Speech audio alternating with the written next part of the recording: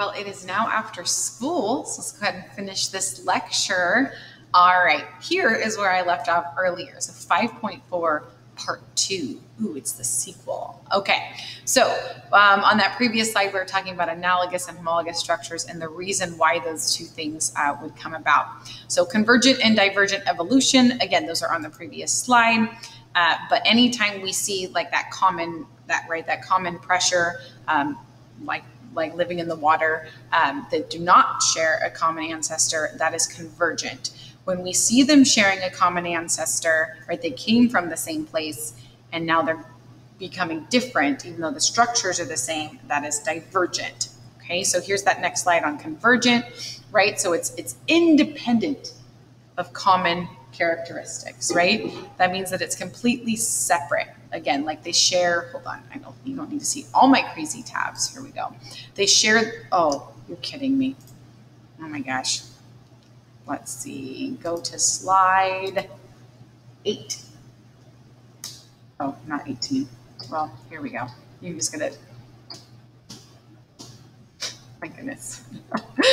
you see the same, there we go. Shared environments cause structural similarities to evolve. Um, and what this does, so why, why this is the convergent evolution, is it limits how viable uh, the design of our cladograms are, right? Because if we're basing them off of similar structures, doesn't necessarily mean they have a common ancestor, right? So um, here's a, a, good example. So convergent, they look similar. So a dolphin's a mammal, right? So mammals share common ancestors. So these two are actually more closely related, right? Because of like different characteristics we talked about, like the structures, the breathing, right? The how they give birth to young. Even though these two look similar, um, but are very different, right? The common pressure here would be that they live in the water, right? They need these things to be able to get around the fins. Um, however, they are not, right? They do not share that common ancestor. Okay, so now let's look at more exciting molecular evidence. Whew, right? Molecules smaller.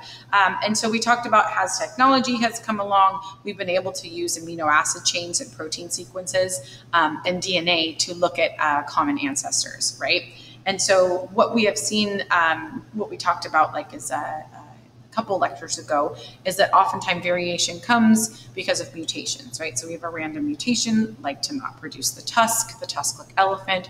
We have a mutation to have that darker pigmented, um, like the moth, and Kennedy, Isaac, if you are on campus, please come to the front office. Again, Isaac. Can't even pause it right now. I'm sorry. There you go. So over time, all those mutations accumulate and they're passed on, and we see them in sequences. Okay, so going back to when I'm comparing those two DNA strands, remember you were looking at that a couple slides ago.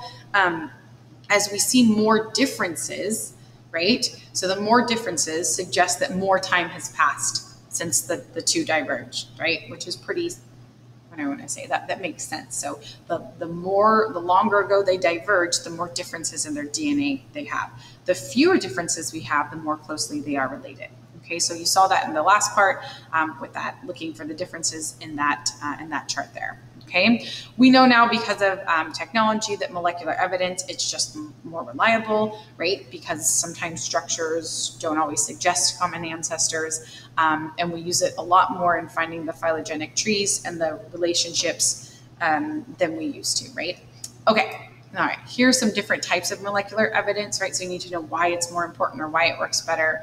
Um, but when we use molecular evidence, uh, they compare again the DNA and then amino acids. I know uh, this is something that's a long time ago, remember that amino acid sequences are, are proteins, right? And that certain portions of your DNA code to make amino acids that come together to make proteins, right? And if they're in the same order, then you're going to get those same amino acids made. So when we're looking at those, we do those two things their DNA or their amino acid sequence, whichever one is more available, right? So non coding DNA, sorry, um, actually mutates the fastest because it doesn't, there's no displayed change. Uh, and it doesn't, uh, so we call it kind of the introns or the part that do not code for any type of protein function. And so when mutations happen in those, they can continue to be passed on because there's nothing, you can't see anything from it, right? There's no protein that's made. Um, the gene sequences, they mutate at a, at a slower rate because they do alter protein structures right? So proteins could be melanin, it could be, you know, your blood type. There's proteins do everything, everything in your body. So if there's a change in a protein, um, then you're going to see, especially if it's not not a good change. Um, looking at uh, Tay-Sachs disease, right? There's an enzyme that's not made that breaks down fat in your brain. Just one single base being off, it changes the, that that enzyme is not made, it's a deadly disease, right? So if, when those things happen, we see that they're not passed on very, um, I would say that's passed on a slower rate because oftentimes they're not good for survival. Okay, the amino acids mutate at the slowest rate because of codons. So, so if we're going from like fast to like, so we have the introns that do not code for DNA, you've got gene sequences, and then you have amino acid. Because if you rewind your brain actually back to, um, I'm actually going to go like this. Do you remember looking at the um, uh, codon charts? Biology, right? Do you remember these fancy things? But as you can see, and make this one bigger, right? So um, this base pair, GCG, GCA, all these code for the same amino acid, right? So if there's a random, um, we call them a silent mutation that occurs there, we don't see a change. So this is going to be the last, uh, the slowest, as if it's a, a mutation um, in the amino acid. These would be the base pairs. Okay, all right, hold on. There we go, all the tabs. Okay, all right. Oh my gosh, Mrs. Meyers. We're just going to go here. We're running out of time. Whew. Okay, so when we compare DNA sequences, uh, the conservation of gene sequences, um, we look at this versus, uh, oh my gosh, hold on. Okay, it should be fixed. Okay, so how do we compare DNA sequences, right? There's actually um, a process called DNA DNA hybridization. Hybridization big fancy words um, to basically look at. So every time we um, to remember that your DNA molecules are, held together by the hydrogen bonds, which are pretty weak bonds, and that's um, that's that's good that they're weak because remember that your DNA is constantly um, uh, sorry breaking apart to be read and then being put back together with the hydrogen bonds, right? And so when we break those bonds apart to break those hydrogens, heat is actually used between complementary base pairs. So we can actually calculate the amount of heat that is used to separate the strands and then compare the two, right? So the, the, um, the amount of heat, right? The, the, this right here, the high TM, right? So the more similar are the sequences, the higher the temperature is going to be required. Um, and then the less similar they are, they have lower temperatures, right? So you can see here, says species A and B are related because there's a high temperature that took to, to take apart the two strands, um, and then B and C are not because it has the lower the lower rate. Okay. All right. Another piece of evidence is mitochondrial DNA. This is different than DNA. Um, we call it mtDNA. It is not MRM.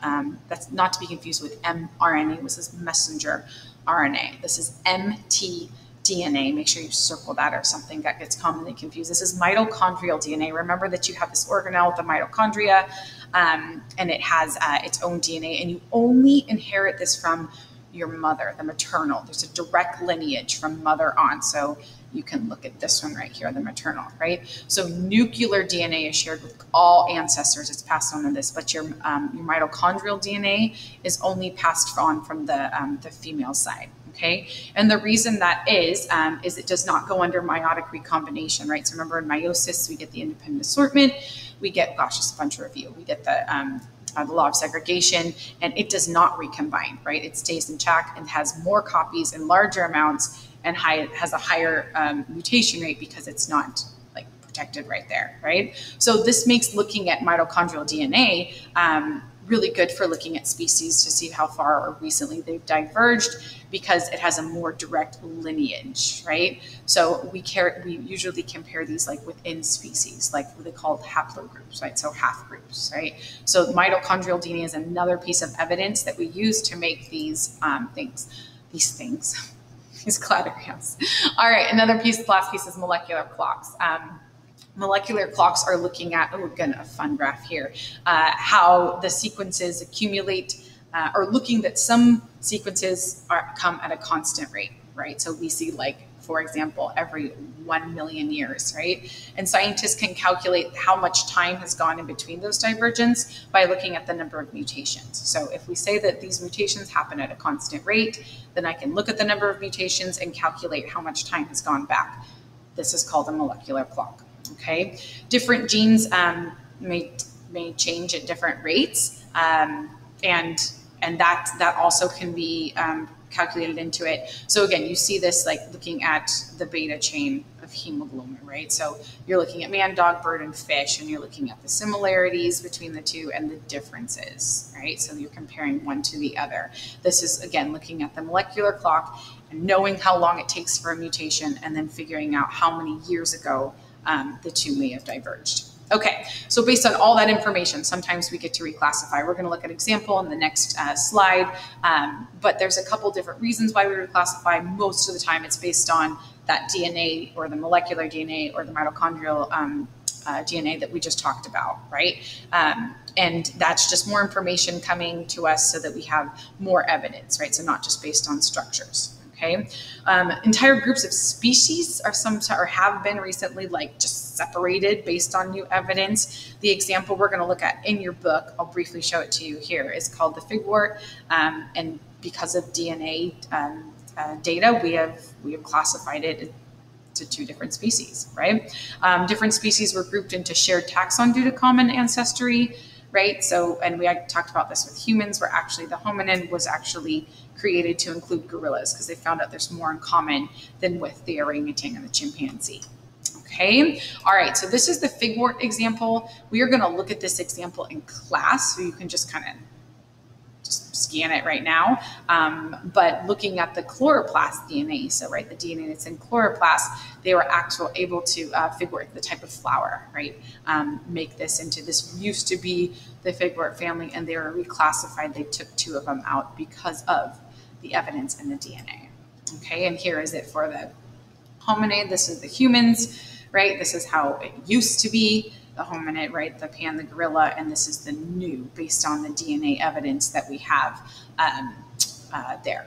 Okay, so here is the topic review from the both the lectures, right? So going back to part one, before I was called into sub and the chaos, you've got clades and phylogeny. Make sure you know those two things or have those two things. Um, how do we construct cladograms? We'll talk about that in class, but make sure you have it in your notes. Analogous and homologous traits and structures have been mentioned multiple times now, so we need to make sure that we understand those. Convergent and divergent evolution, um, molecular evidence, whether that's DNA, mitochondrial, or the molecular clock, how the molecular clock works, and um, examples of reclassification. Again, we're going to look at more of those in class. Okay, this concludes part two of 5.4.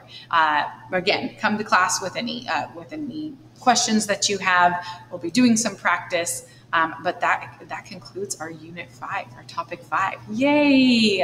All right, guys, I will see you soon. Have a fabulous day.